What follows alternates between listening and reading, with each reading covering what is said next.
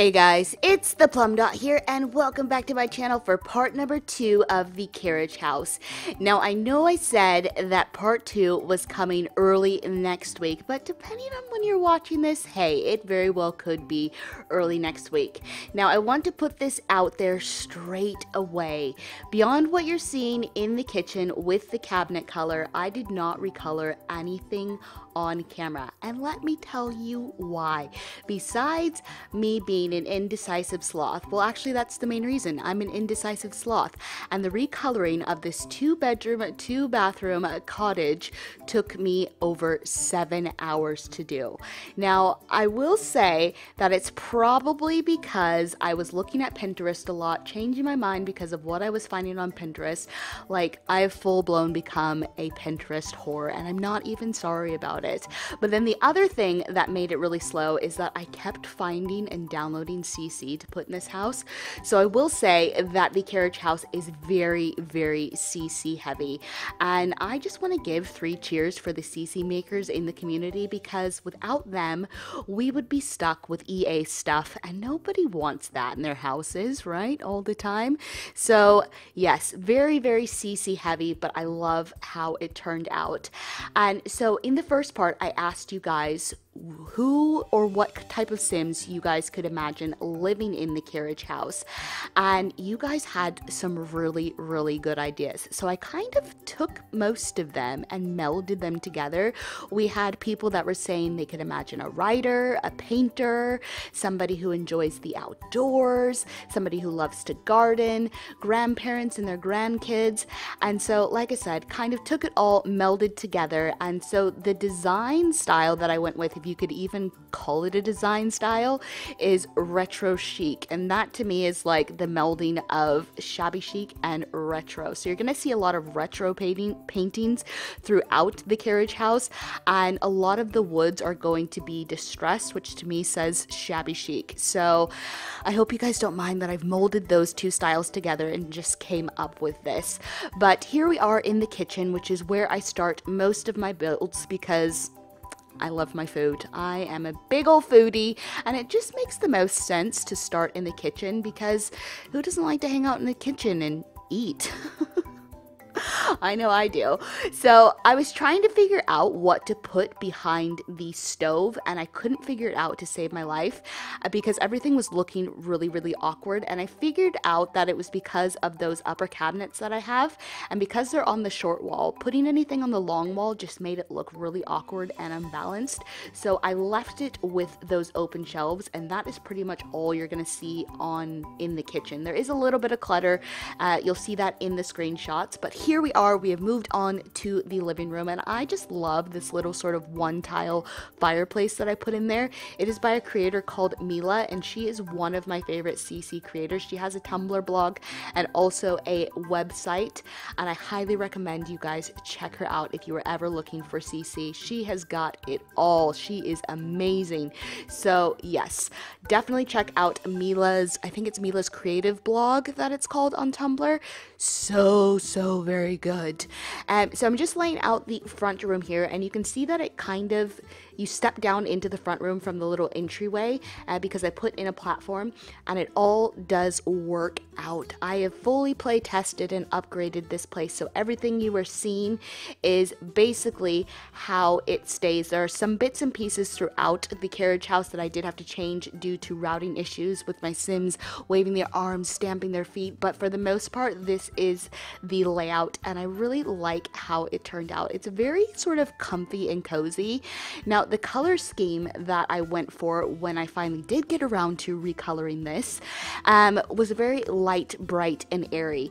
So my thoughts, um, what you're gonna see when we get into the living room in the screenshots is that it's kind of this white brick, um, but what it kind of reminded me of is maybe if you had stripped back the walls, those were the original original walls in this cottage, and they kind of like whitewashed over them with some painting. Um, so you'll see what I mean, but yes, everything is very light, bright, and it just works out really well. I really love this color scheme that I went for. So there's going to be like a lot of blues, a lot of greens, a lot of yellows, some pinks, but it's all going to be very pastelly. So I'm just moving on to the little entryway and it's only a three by three space. Um, so I put in this little, it's not a credenza, I don't know what you would call that, this little shelving unit with the little rotillary, it's not a rotillary because that's food. I think I'm hungry. Uh, rotary phone. Um, and then cluttered it up just a little bit, but I didn't go too buck wild on the clutter there. And then I'm back to the area behind the TV. I thought I would switch it out, but no, I went back with that massive painting, which I love. Now you're going to notice that there's going to be a lot of pottery, uh, not pottery, a lot of plants, a lot of flowers throughout this um, house because I really wanted to bring the outdoors inside. That was kind of my aim when I was decorating. So there are flowers everywhere, and um, there's actual flowers. There's there's flower floral pla- rewind. There's floral pa- there are floral patterns.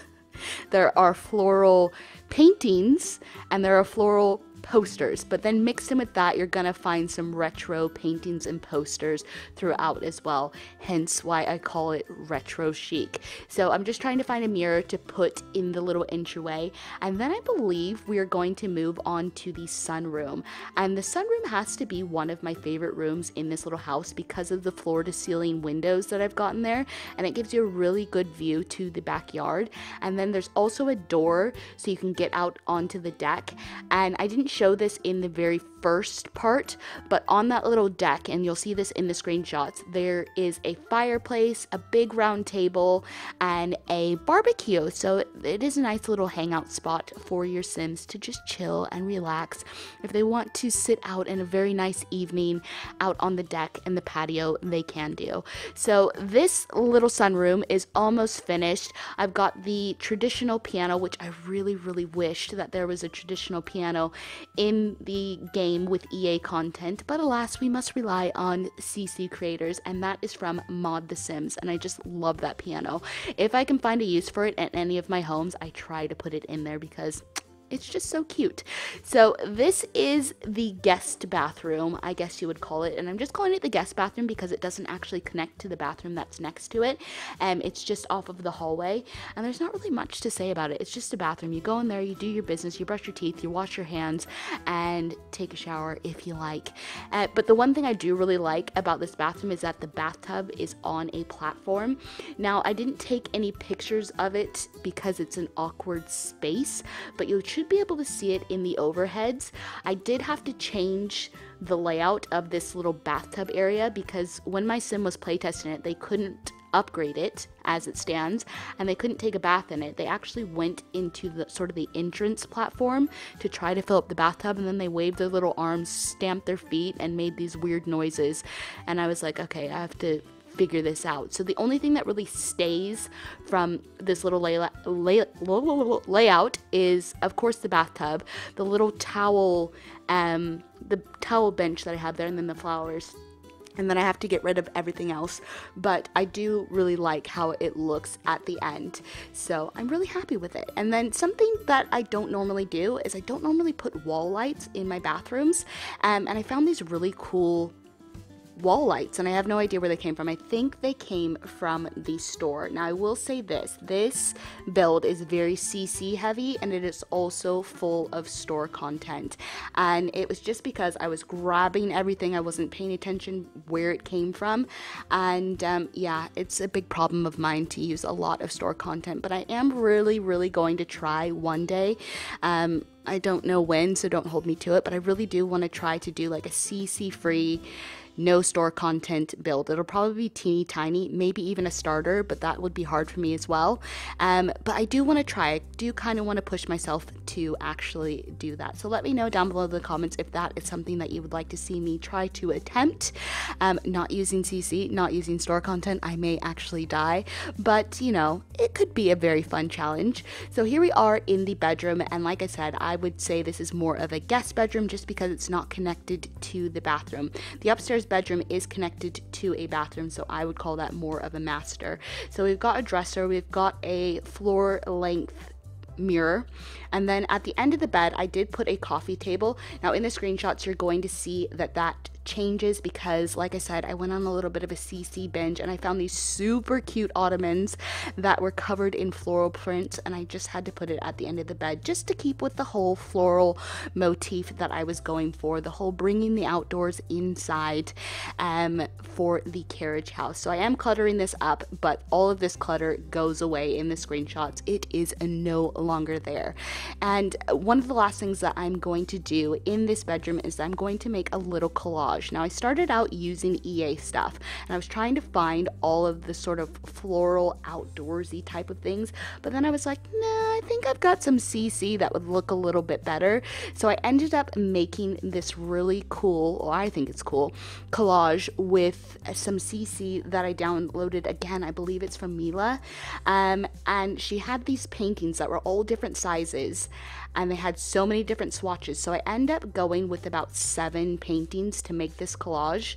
And it's the second painting here that I'm playing with right now, the swatches, and then three smaller paintings in the middle of these four that I've laid out here. And I tried to find the ones that were most nature-like or the most sort of outdoorsy. So we've got some flowers there, and we've got some, I think that's some cactus there.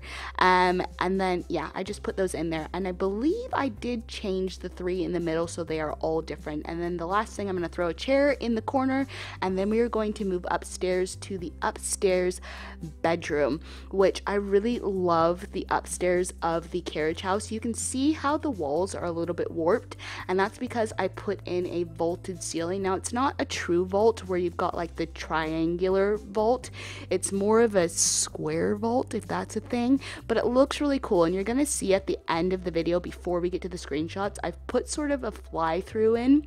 It's not the best fly through, like, I've never done a fly through before, so please don't make fun of me. Um, but it looks really cool. You'll be able to see that the ceiling is a completely different height than the downstairs bit, and it just gives it a little bit of uniqueness. And I really, really like that about the upstairs. So the bedroom is almost complete, and then we are going to move on to the bathroom before we get to the upstairs landing. Um, so I'm just cluttering up this little ladder shelf, and I believe that is by Living Dead Girl on TSR. And then we've got the Mila painting with the deer, and I do switch that out for a different swatch. I can't remember what swatch I end up going for in the end, but of course you'll be able to check that out in the screenshots once we get there. And this is the bedroom. I'm going to put some a rug down and then I'm going to put some curtains, which I rarely ever do curtains on camera because they're always an afterthought, but I'm pretty sure in most of the spaces where it counts, there are curtains, which go me, I never do that. So I did want to put a bathtub in here, but then I realized that there wasn't enough space. So there is one sink, one shower, and a toilet. So again, you do your business, you go away, and that is that. Mrs. That's that. So this is the sort of master bathroom. It is definitely smaller than the downstairs bathroom, but I think that is okay. And then we are going to move on to the upstairs landing, which, like I say, is my favorite spot. So, a lot of you guys did say you wanted to see a painter in here. You could see a painter living in the cottage, in the carriage house. So, I put in an easel just in front of this little painting or these what are they shelf shelving units. I built a little shelving unit and i put an easel in front of that. Now i've just pulled out this day bed and that is going to go at the top of the landing. So there is another space for sims to be able to sleep and hang out but i kind of thought it was cool to put at the top of the landing like if somebody wanted to just chill out while somebody was painting or listening to music or if they wanted to sit on the bed and read they definitely could do that. And yeah i think it's really cool but it doubles as another place for a sim to sleep. So this this carriage house would actually fit probably five sims to sleep in and I think you know, for the size of it, that is pretty darn good. But I think that is all that I have to say. I think I'm going to love you and leave you guys with some music. I will have a download link up for this as soon as I go and make a CC list for this. I'm to do it as soon as I finish this voiceover. And then, oh, also, somebody on Twitter asked if I could put up unfurnished versions of some of the houses that I build. So I may include an unfurnished version of this house as well as the coach house, which is what the carriage house is based off of. But if you enjoyed this, make sure to give it a thumbs up. Leave me a comment down below. Let me know what you guys think. And if you guys aren't already subscribed and you like what you see, why don't you go ahead and hit that button? Don't be a plum stranger now, guys. Bye!